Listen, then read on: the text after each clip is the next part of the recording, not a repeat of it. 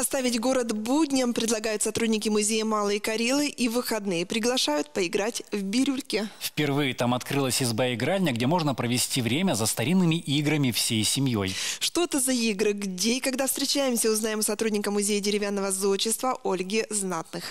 Ольга, добрый вечер. Здравствуйте. Здравствуйте. Какой у вас замечательный наряд. Да, традиционный каргопольский сарафан.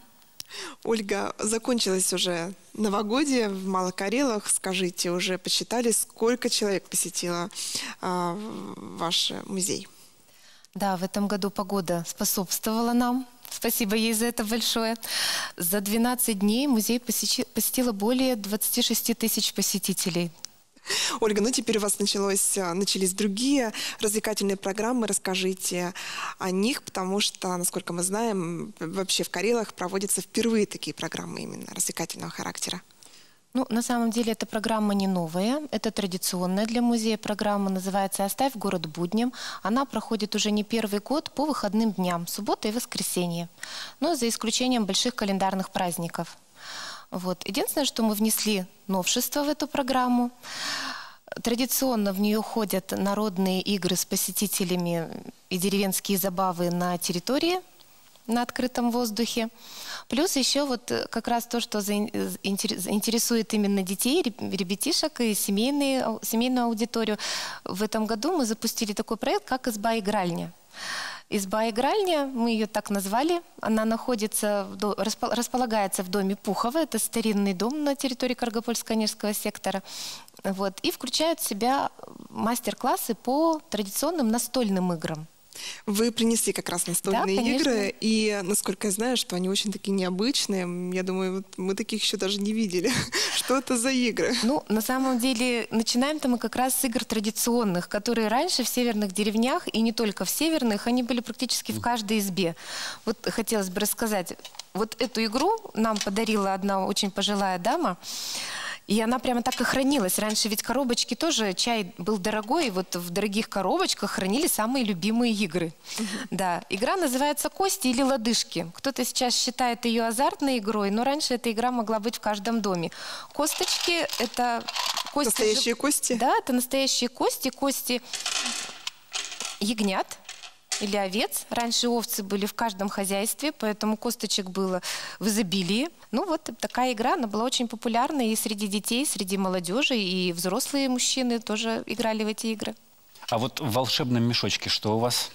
А в волшебном мешочке у нас Самый простой материал, который только можно придумать, это спилы деревьев. Раньше дрова пилили, избу строили, кубики, щепки летели во все стороны. Пожалуйста, дети подбирали эти палочки, щепки и с удовольствием из них играли. Мы немножко адаптировали эту игру. Мы взяли круглые спилы разных диаметров.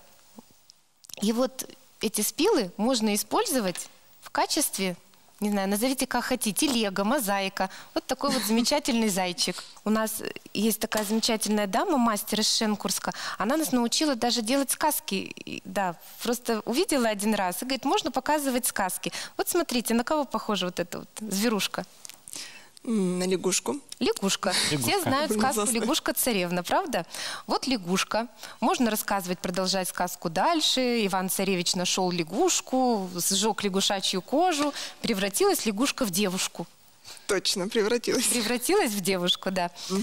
Ну, Иван-то царевич об этом не знал, правда? Пошел на пир один, а лягушонка-то ему сказала, ты не переживай, все будет хорошо, да? Иван-царевич ушел во дворец, а лягушонка потом превратилась в красавицу и прикатила вот на такой карете.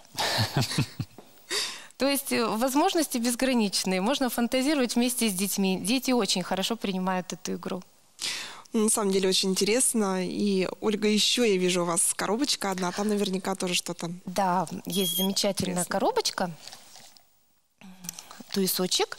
В ней такая очень веселая, на самом деле достаточно известная игра. Она бытовала у многих народов, в том числе и в России, в разных, местностях, в разных деревнях и районах. Это называется бирюльки.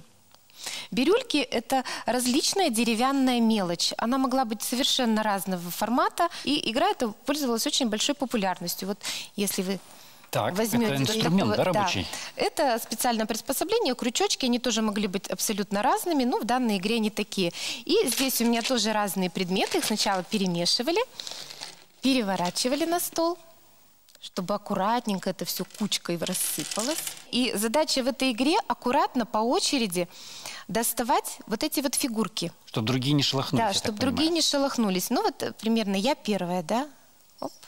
Мгм. Ну, Это фигурка моя. я могу, вот, наверное, вот это, я так понимаю, шелохнулась, да? То есть я уже. Да, про- вы пропуск. пропускаете хор, ход, фигурка уже вам не достается, я буду следующую.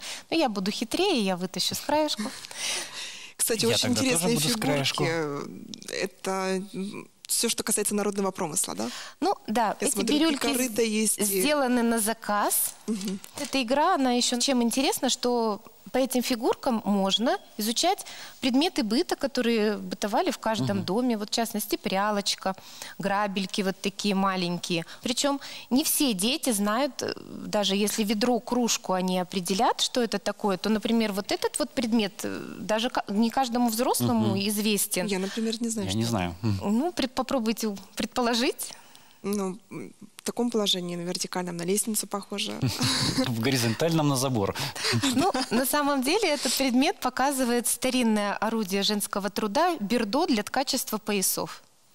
Вот Нет, в частности, мой пояс сплетен на берде. Ольга, я вот еще вижу не менее волшебный такой короб у вас тканный, и там какие-то тканевые квадраты. Это что такое? Но это не тканые квадраты, это шитые лоскутные квадраты.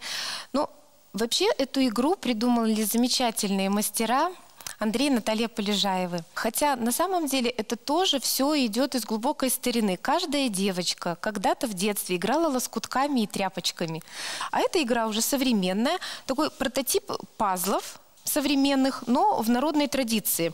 То есть эти квадраты, они сшиты из лоскутков, здесь продуман рисунок, продуман цвет, и если разбросать эти, рассыпать эти лоскутки, вернее, вот эти квадратики волшебные, то девочки, они учатся комбинировать, то есть они подбирают их по цвету, да, вот э, выкладывают, и когда они сложат вместе все эти квадраты, их еще надо повертеть, они с хитростью сделаны, вот, то у них получится красивое лоскутное одеяло.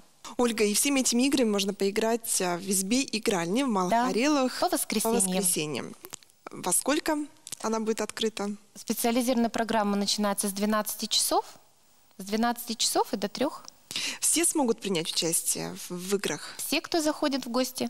Ольга, спасибо большое вам за увлекательную игру. За очень интересный рассказ о том, как в старину наши предки вот проводили свои вечера. До свидания. Спасибо вам и милости просим к нам в музей на выходные.